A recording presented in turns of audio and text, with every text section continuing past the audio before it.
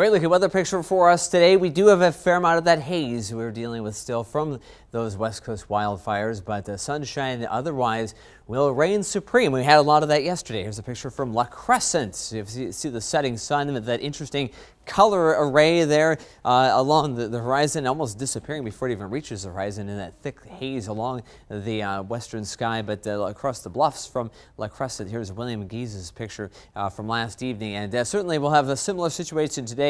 A cold front is coming through uh, that eventually will lead to some changes in, in, the amount of haze we'll see. There will be a, an overall pattern shift, at least for a couple of days. But today still we'll be dealing with the, that the bright sky with the, the haze. And so far this morning, waiting for some sun. We have more than an hour to go before that happens, but that's Austin live with our Louis Donato camera here in Rochester. 61, not a bad morning by seasonal standards. In fact, rather mild.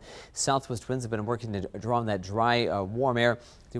2.57 air pressure uh, falling, 29.95 inches of mercury, 50s, low 60s on the map, 64 right now in, in Winona, Rochester 61, Austin 57 and 61 degrees in Charles City. Skies are generally clear aside from some of that haze that may be limiting the, the uh, number of stars we can see overhead and certainly uh, changing the appearance of the sky during the daylight hours. But there is that cold front on its way. That will swing through the area uh, by really shortly after sunrise. Give it a three or four hour span of time here. And behind that, we will have a few fair weather clouds. Now, as the haze remains aloft, we're going to see that, but also as the front moves in, there may be just enough of that mixing that we may, for a brief period of time, may be able to, to detect some of that uh, haze closer to ground level. Maybe a little bit of that smokiness. Uh, that is a possibility as, as, winds get just a little gusty right behind the front, around 15 to 25 miles per hour, but uh, not an air quality issue at this point. Very uh, dispersed uh, layer of that haze with those gusts of wind, and it's only going to be a very brief period of time just behind that front. Otherwise, we'll have cool air behind that front for a couple of days.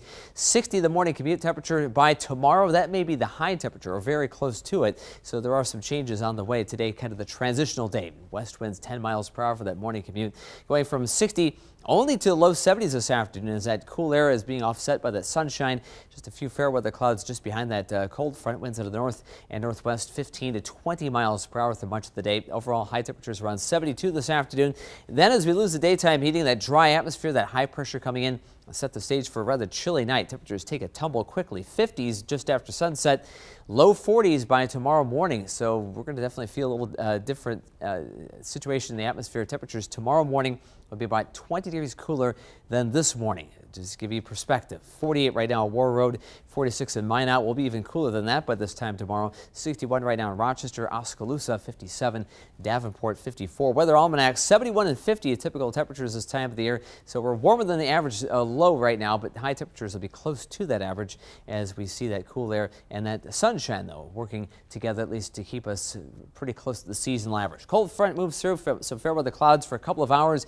Kind of a cool northwest breeze at times 20 to 23, 24 miles per hour, at least for a couple of hours early in the afternoon. High pressure comes in, clear skies, light winds, lows in the low 40s up north. There'll be frost advisory headlines outside of our area. And then tomorrow with light winds and clear skies, only around 60 or low 60s for high temperatures. Heading into Friday, a few fair weather clouds come in from the west. A little weak disturbance brings at least a thin layer of clouds with uh, limited sun, only low 60s Friday before more of a southerly fetch that wind draws in some warmer air. And we'll begin to see the changes. Warm air mass comes in for the weekend, mid 60s return Saturday, and then eventually 70s by Sunday and next week. Temperatures most of next week actually warmer than the seasonal average. Right now, 71. That climate average will be around 72 in Rochester, 74 Mason City, and 70 in Albert Lea with some haze, some sunshine, and a kind of a moderate north wind around 20 miles per hour at times. Light winds and clear skies, 41 tonight. Seven day forecast, uh, another cool couple of days ahead of us. Low 60s for highs, low 40s for lows on Thursday and Friday. Then we turn things around and we start warming things up. 70s become the rule again Sunday and pretty much all of next week. And not many rain chances. There's that one and a small chance of that on Monday. Sounds good. Thank you.